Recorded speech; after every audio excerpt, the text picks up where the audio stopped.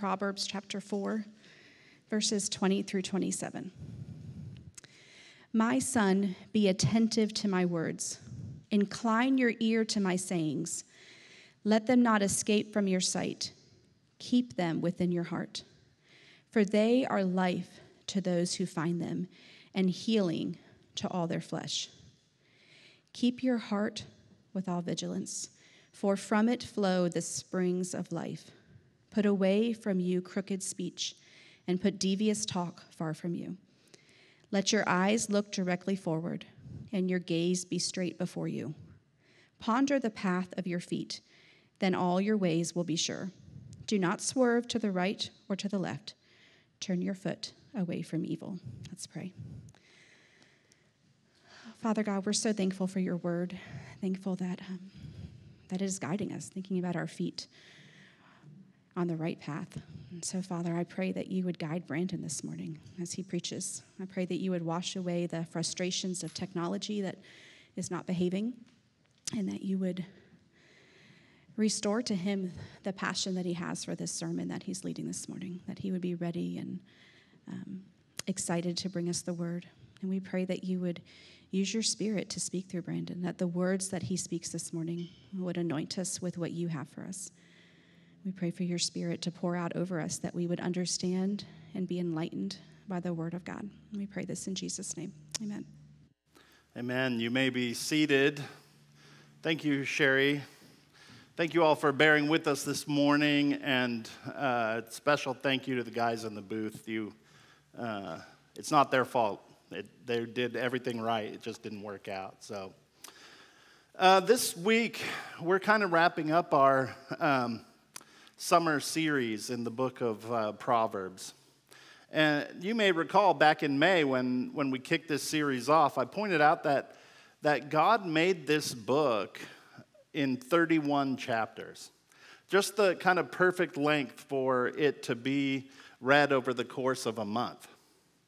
It's as if the, the Proverbs are designed to be easily read over and over again throughout the year alongside our our continual journey through the rest of Scripture.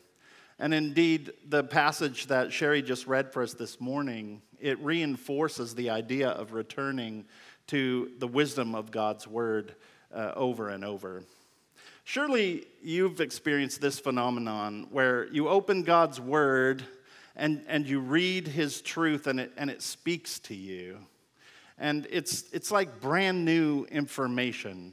Even though maybe you've even read that verse before, it just seems new. And you might say something like, This is exactly what I needed to hear today.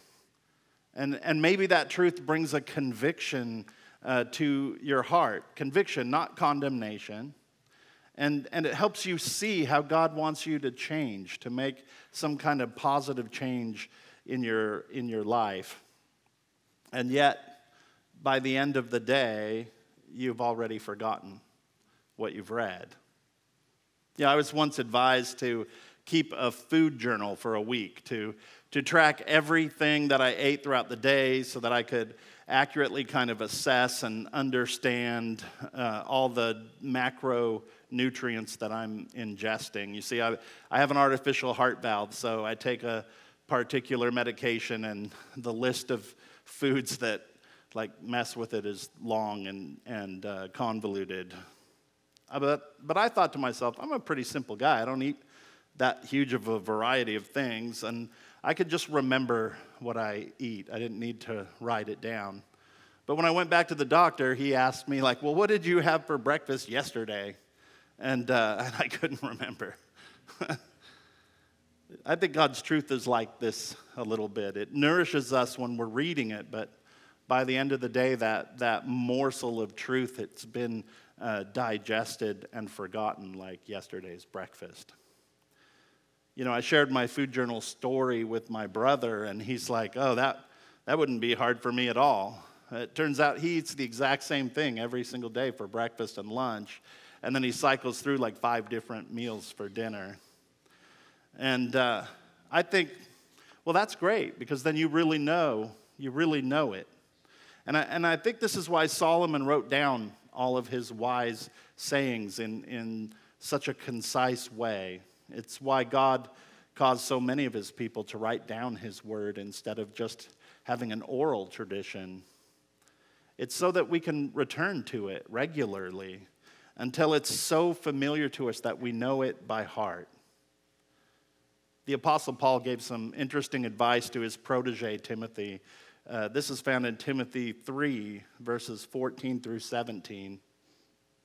But as for you, continue in what you have learned and have firmly believed, knowing from whom you learned it and how from childhood you have been acquainted with the sacred writings, which are able to make you wise for salvation through faith in Christ Jesus. All scripture is breathed out by God and profitable for teaching, for reproof, for correction, and for training in righteousness that the man of God may be complete, equipped for every good work. The Proverbs, and indeed all of Scripture, are there, it's something we need to be continually learning and acquainted with. Why? So that we can be wise for salvation through faith in Jesus. Solomon teaches this lesson to his sons by admonishing them to keep his sayings in their heart and then guard them. This morning, I want to take a look at the reason that he gives for this advice and then kind of look at some, some ways that uh, th- th- three thieves that might try to steal uh, things away from our heart. Now, the reason that Solomon gives for his teaching, it's found in verse 22, where we're told that the Word of God is where we find life and healing if something is lifeless or broken, right, e- either in us or in the world around us, we only have one reliable and infallible remedy for that, and that's God's Word. And this is because the Word of God in its original form was breathed out by God. In 2 Timothy, we see that word breathed, and it, the, the word is uh, theopneustos. The prefix is theos, which means God, and, and the, the root of the word is pneuma, like you might think of air uh, or pneumatic tools. Whenever we see air and God together in Scripture, we know that what we're talking about is the Holy Spirit. And this word breathed, it literally means inspired by the Spirit of God. And yeah, God employed men to write the scriptures, people like Solomon and Paul and others. But their very words were inspired by the Holy Spirit of God within them. And therefore, that's why we can rely on them for teaching and reproof and correction and training in righteousness. And in doing so, Solomon is showing us that this will result in life and healing. And yet, when we encounter this lifelessness or this brokenness in, in ourselves or in the world around us, all too often we turn to the uh, fallible words of our idols rather than the infallible word of God. Let's look at just three idols that, um, that I think we sometimes turn to. The first idol is our own strength and ideas. See, when we're faced with a problem, what's the first thing we do? We try to fix it ourselves. We try, we try harder, or we chastise ourselves and demand better of ourselves, or we, we shame ourselves in hopes of motivating ourselves to do, uh, to do better, or we fall back on the fallacies of our childhood. You know, we've been told things like, just work harder, work smarter, not harder, or pull yourself up by your bootstraps, or put your mind to it and you can do anything. And yet, if we went to Scripture instead of to our own strength, we'd encounter verses like we find in uh, John 15, where Jesus tells us that we can do nothing apart from Him, but that with Him all things are possible. Another idol is that we look to the culture's strength and ideas. You know, whether we realize it or not, there's this culture around us that we live in, and it's trying to shape how we view the world. And, and everyone is competing with one another to get our attention and to influence our decisions.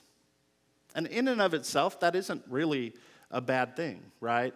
It's not wrong for a company to want to advertise their products as a possible solution to challenges that we face. It's not wrong for a politician to put forward a platform of ideas that they would Im- implement if we give them our vote.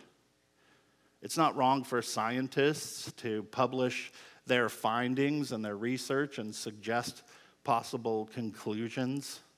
It's not wrong for artists to make observations about what they see around them and what that might mean for us as people. I'd say it's definitely not wrong for a minister to stand up and say, hey, maybe Jesus is the way. But I think it's really easy for us to make idols out of these otherwise good things. When we allow, like, the marketing department of Apple or Google to dictate our buying decisions or to be the final word about what we need to have in order to be successful in life, I think that can challenge certain biblical concepts, maybe the biblical concept of good stewardship. If we allow news organizations or entertainment companies to determine what are the issues of our day, what are the problems we should be giving time and attention to, I think this can result in our neglect of things the Bible tells us to be paying attention to.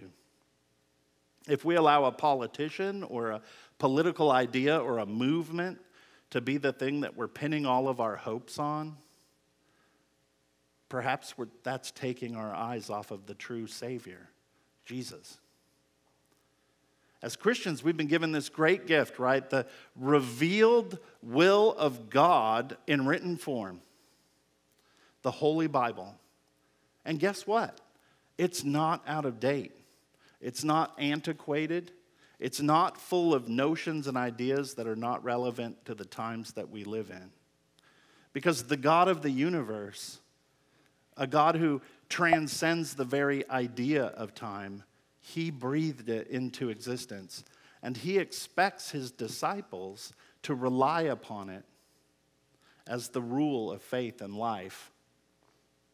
And what it means is we don't look to the culture we don't follow the science. We don't even follow the church as our guide to life. Now, don't hear me wrong.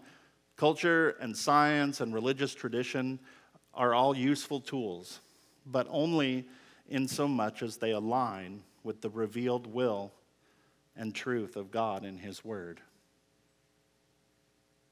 The last idol I want to talk about is other people's strength and ideas.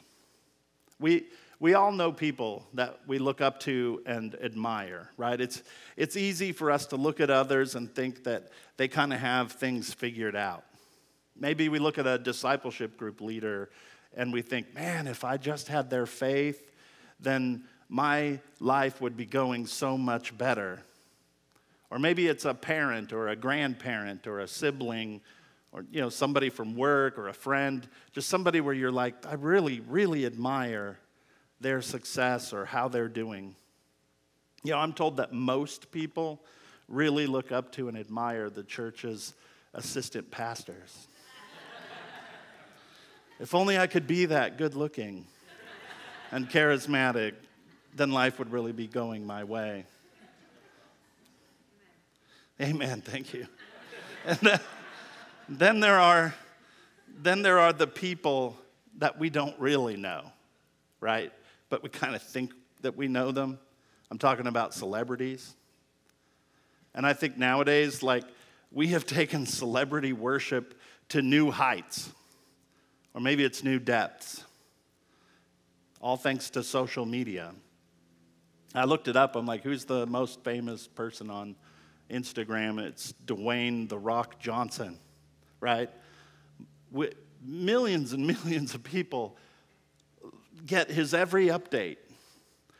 we, we can know what he had for breakfast, and then we can learn whatever his thoughts and musings are on everything from politics to fashion. You know what's interesting is that we as a culture have chosen a word that, that describes how we interact with people on social media. You know what that word is? We follow them. It, you know, if we follow someone, it implies that they're leading us somewhere. It implies that we have given them some level of authority in our lives to be a guide for us. You know, when someone says to me something like, I follow Miley Cyrus, I think, maybe you're not going in the right direction. Look, I greatly admire like the athletic ability of LeBron James, right? I'm, I am super happy that he's playing for the greatest team in the history of all American sports, right? but I don't find his social media feed to be particularly life giving or healing or helpful to me in my sanctification process. And, and if you really think about it, why would I, right? I don't know LeBron. I don't know how he really is. I don't know how he lives as a person. I don't know what he does with his life other than playing basketball. All I know is his carefully curated online persona. Now, God does put people in our lives to be leaders, mentors, friends, confidants, teachers, coaches, and accountability partners we look up to people and we rely on them to some degree. And I think that is definitely biblical and it's definitely worthwhile. And the Apostle Paul endorsed this and understood it. He told the Christians in the church at Corinth, Be imitators of me. But it didn't just end there, right? He also, what he fully said was, Be imitators of me as I am of Christ. In other words, follow me, but only so far as I'm leading you to Jesus. Church, I hope that you will never blindly follow me or Ryan or Megan or anyone that we put up here as a leader. I hope you will follow us as, as far as we're faithfully guiding you to Jesus and the truth of his word. But if we ever miss the mark, I hope that you'll fall back on, on the teaching of the word. And I hope that you would do the same with anyone that you admire, whether that's family or friends or a politician or a celebrity. It's important for us to realize that, that we have these idols and they, and they get in our way of our reliance on God's word as the source of life and healing as Paul wrote in 2 Timothy, the word is, is a critical element of our salvation. And it's through the application of the word that the Holy Spirit gives us spiritual life. Listen to this from Ephesians 2. And you were dead in the trespasses and sins in which you once walked, following the course of this world, among whom we all once lived in the passions of our flesh carrying out the desires of the body and the mind, and were by nature children of wrath, like the rest of mankind. But God, being rich in mercy, because of the great love with which He loved us, even when we were dead in our trespasses, He did what? He made us alive together with Christ. For by grace we have been saved through faith. And this is not our own doing, it is the gift of God, not a result of works, so that no one may boast. But it's not only life that God gives us. Solomon, he's also emphasizing the healing of, of all of our flesh. And I think Paul echoes this in his letter to the Philippians. In chapter 2, he says, Work out your own salvation with fear and trembling. For it is God who works in you, both to will and to work for his good pleasure. Do all things without grumbling or disputing, that you may be blameless and innocent, children of God without blemish in the midst of a crooked and twisted generation, among whom you shine as lights in the world, holding fast to the word of life, so that in the day of Christ I may be proud that I did not run in vain or labor in vain. We're told to hold fast to that word of life as we work out our own, our own sanctification. And, and all of that while recognizing that it is God who is doing this work within us, causing us to will and to act for his own good pleasure. And what we see in Ephesians and Philippians, Uh, what Solomon is talking about life and healing, regeneration and sanctification, our very spiritual life from beginning to end. But how do we hold fast to that word of life? Well, we're told that we must guard our hearts. Solomon begins the poem, that, that's our passage of scripture. He begins it with this exhortation that his son would keep his teaching in his heart. He tells him, Be attentive to my words, incline your ear towards them, be sure they do not escape from your sight.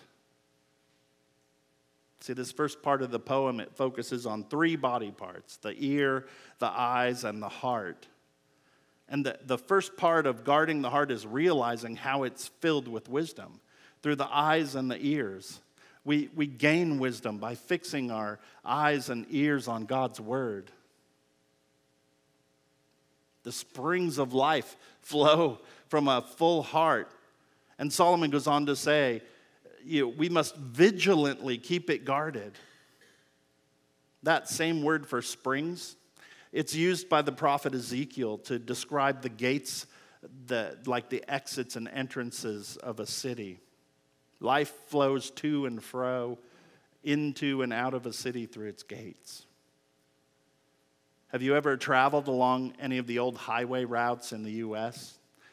and you realize like there's these little ghost towns every so often because they used to be places where people would stop as they traveled but when, when president eisenhower put in all the interstate highways those towns that were not close enough to the interstates were cut off and they died.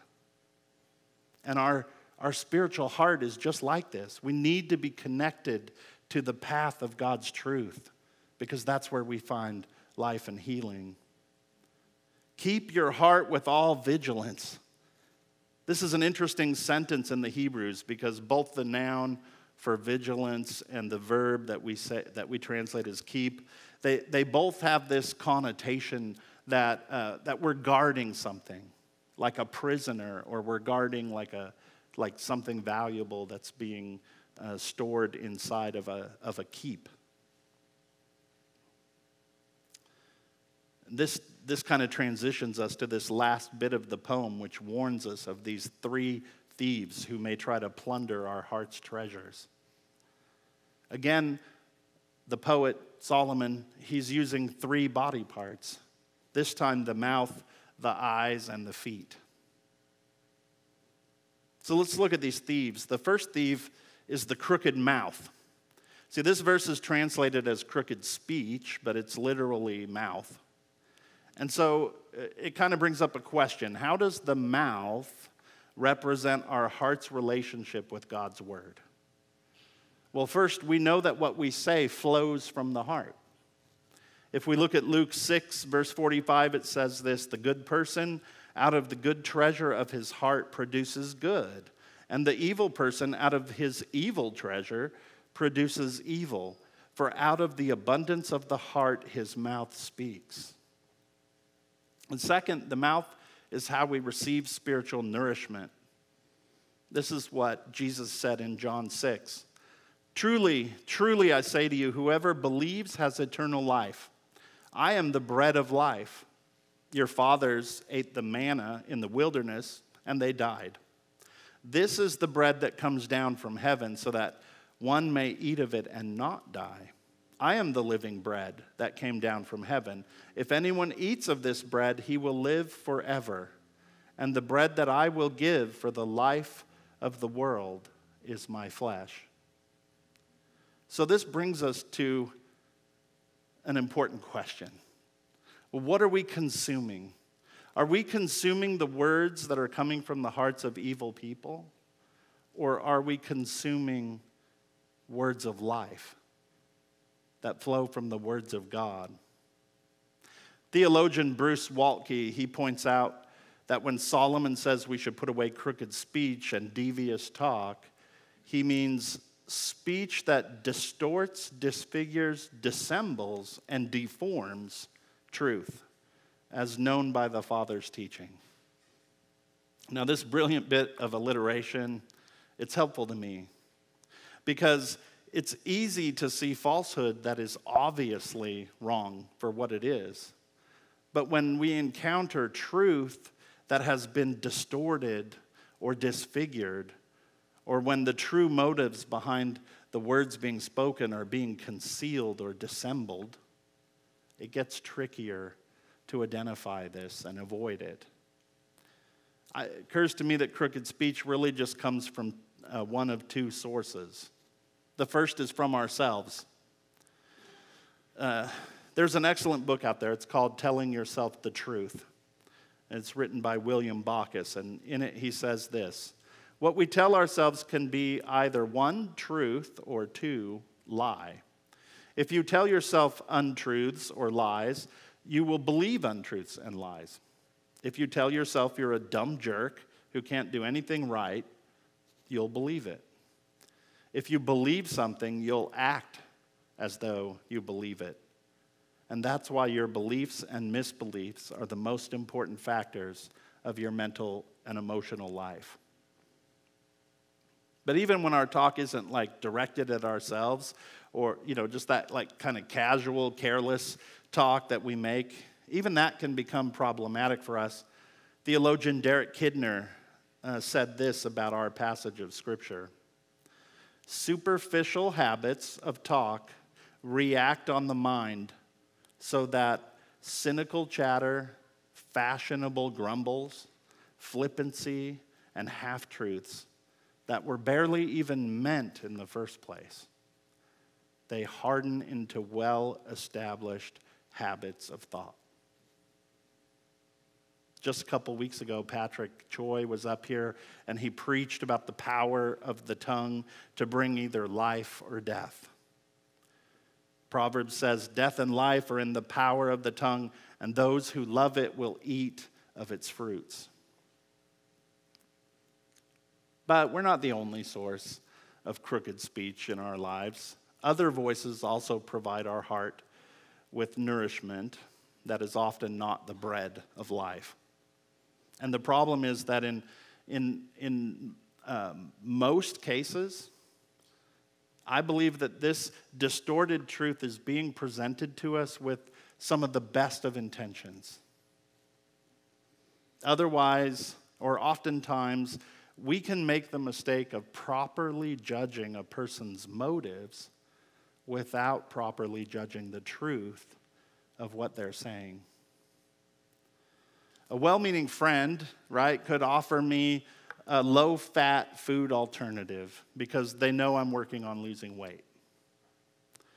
But if I only look at their intentions, I may wind up eating foods that are actually full of carbohydrates, which are what I really need to avoid in my diet. So, what do I do? If someone offers me food, I look at a food label or I look it up online and I find out, like, what's in this food? Is this really a healthy choice for me to be making? Based on its ingredients, not on the intentions of the person who offered it to me.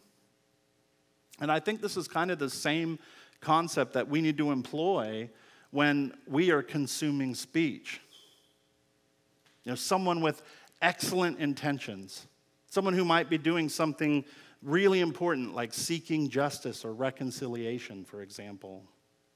They may put forth all kinds of ideas about how we could change the world for the better. Lately, we hear a lot about critical theory. And most of the people I know who personally ascribe to this are good people, and they have excellent intentions, and they love Jesus. And I'll be honest, when I first encountered it, it had a ring of truth to it. And I allowed my trust of individual people's motives to be my guide. But after a time, I began to see, like, hey, some of the things that are being said, they're kind of contrary to what I am seeing when I'm reading scripture. And as I began to investigate, like, where did these ideas come from? I began to see that some of the motives of kind of the politics and stuff involved, they're kind of being concealed. I think there's a lot of different things that are being said by people. They only want to see the world as a better place. And we hear these emphases on things like tolerance and acceptance and love and justice and reconciliation. And as Christians, these, these stir within us the ideals that are promoted by our Savior, right? who gave us the ministry of reconciliation, who challenged us to seek justice for the oppressed, who ate with sinners, and who crossed over into Samaria to challenge racist ideas about who God values. And Jesus put forth love as, as both of the two greatest commandments. And I think it's easy for us when we, when we hear these terms to, to feel a connection with them uh, on the generalities of these concepts. But I think this is why Solomon warns us in Proverbs 14 12. There is a way that seems right to a man, but its end is the way to death. You know, my mom used to say, I'm pretty sure she didn't come up with it, but I, I learned it from her. She said, The path to hell is paved with good intentions. I had a thought this week as, as I was preparing this message, and um, I was thinking like when we're, when we're presented with new ideas or old ideas repackaged as new ideas, uh, it's sometimes we're, we're, it's, it's described as if we, we have a choice. We can either be closed minded or we can be open minded, right? And it's always suggested that maybe we should be open minded to new ideas. But, but then I was thinking about uh, Romans 12 2. It says this Do not be conformed to this world, but be transformed by the renewal of your mind, that by testing you may discern what is the will of God, what is good and acceptable and perfect. Now, I'd like to propose a, a different way of thinking about mindedness. To be closed minded, that would be like I would never even consider any idea that is not already in alignment with my current beliefs. Well, Romans says that we should be transformed by the renewal of our mind. So I, I feel like we can't take a closed minded approach.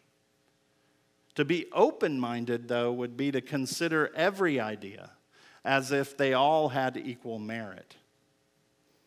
And I, I think that being open minded would not really be in line with, with Solomon's admonition that we guard our hearts. We don't want it to just be wide open. That sounds a lot like the double minded man who's mentioned in the first chapter of James. Remember, he was the, the man described as being like a wave of the sea that is driven and tossed by the wind. Romans says that we should be testing things against the revealed will of God. So I think there's a third category it's being single minded. And being single minded, that person would consider new ideas, but would be single mindedly seeking the wisdom of God as they did so. See, as Christians, we need to be vigilantly guarding our heart from the thief of the crooked mouth by p- carefully comparing the speech that we hear from ourselves and from others with the only infallible source of truth, which is the Word of God. The second thief that Solomon lists here is wayward eyes. Solomon admonishes us to look directly forward, to keep our gaze straight. And it, this is really just kind of building on the same concept of the crooked mouth.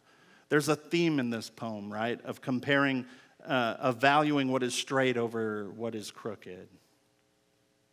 And in the book of Proverbs, uh, the eyes are linked with, with our search for satisfaction in life. Proverbs 27 20 says, Sheol and Abaddon are never satisfied. That means death is never satisfied, and never satisfied are the eyes of man. And Proverbs 17 24 says, The discerning sets his face towards wisdom, but the eyes of a fool are on the ends of the earth. They're not looking straight at wisdom, they're looking everywhere on the horizon, looking for what's new, what's better. And again, we must ask ourselves how do our eyes represent our heart's relationship with God's Word? Well, Jesus said this in Matthew 6 The eye is a lamp of the body. So if your eye is healthy, your whole body will be full of light. But if your eye is bad, your whole body will be full of darkness.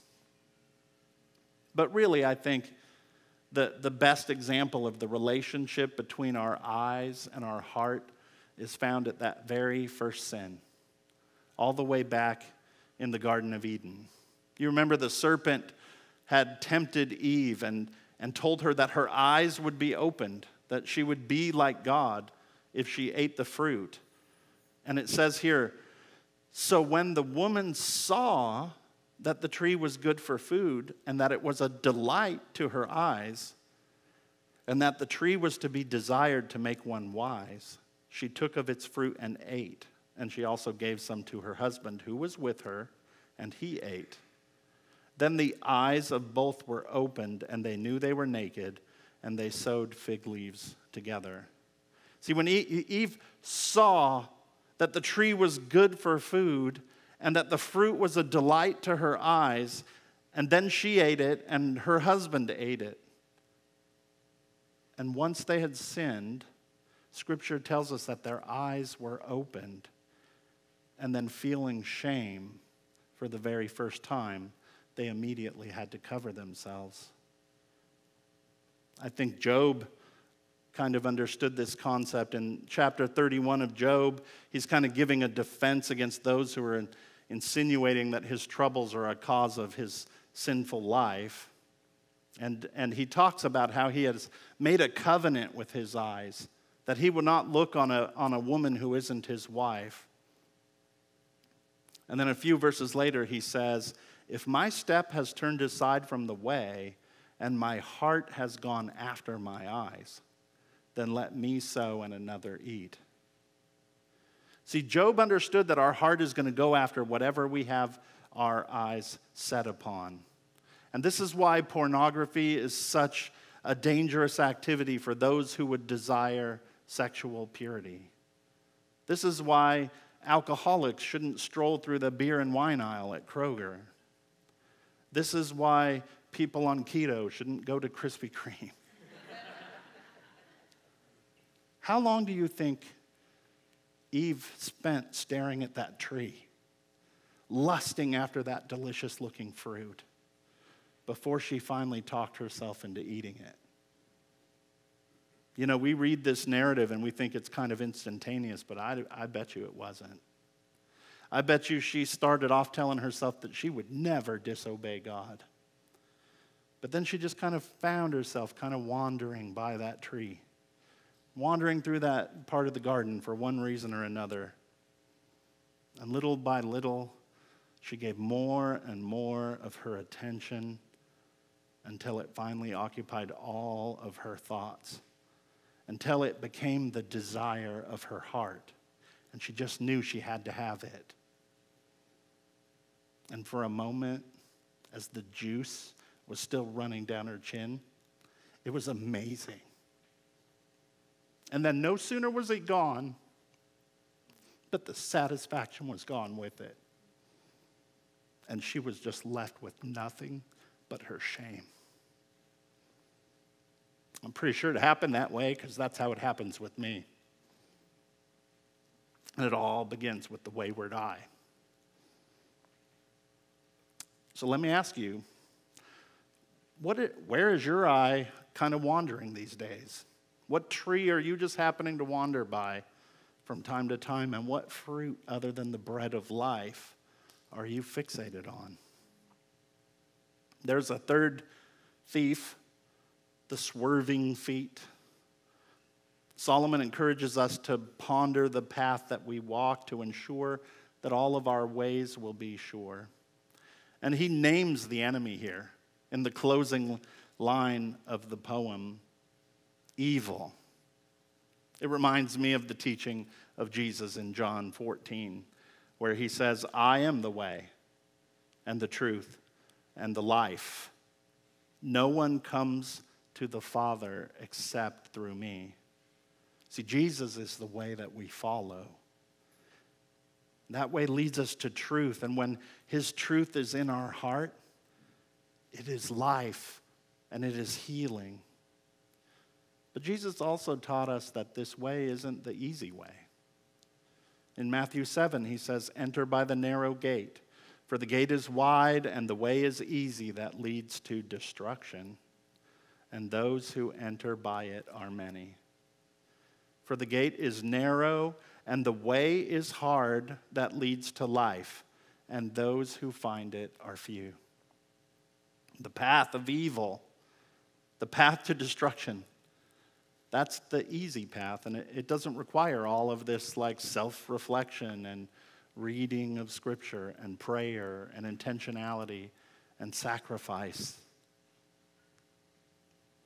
The heart is to be guarded above all else. It's job one, according to Solomon, who was the wisest man who will ever live. We're to fill it with God's word and protect it from the thieves who want to plunder it. And why? Because from the heart flows the springs of life. And so, my final question to you is Do we want to be governed by a heart that is filled with the righteousness of God's truth in Jesus Christ or by the evil of falsehood?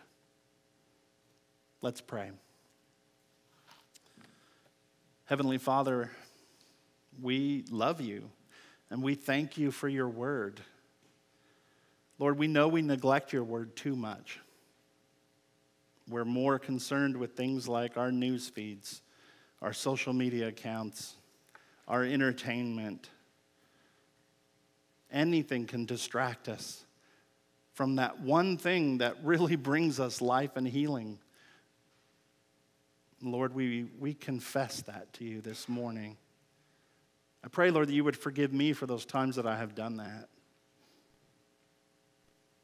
Lord, I pray that even as I know you are faithful to forgive me, that you would bring about in my heart a conviction to prioritize your word, filling my heart with it and protecting it from anyone who would try to plunder it. I pray this for everyone in this room. And I pray this in Jesus' name. Amen. Hey, Pastor Ryan here. We're so glad that you've tuned in with us and watched one of our online sermons. Our vision as a church is to live as the family of God, together proclaiming and demonstrating the gospel of grace to one another in our city. If you don't have a church home or you're looking for a church, we'd invite you to attend one of our in person worship gatherings so you can experience all that God has for us as a community of believers on mission.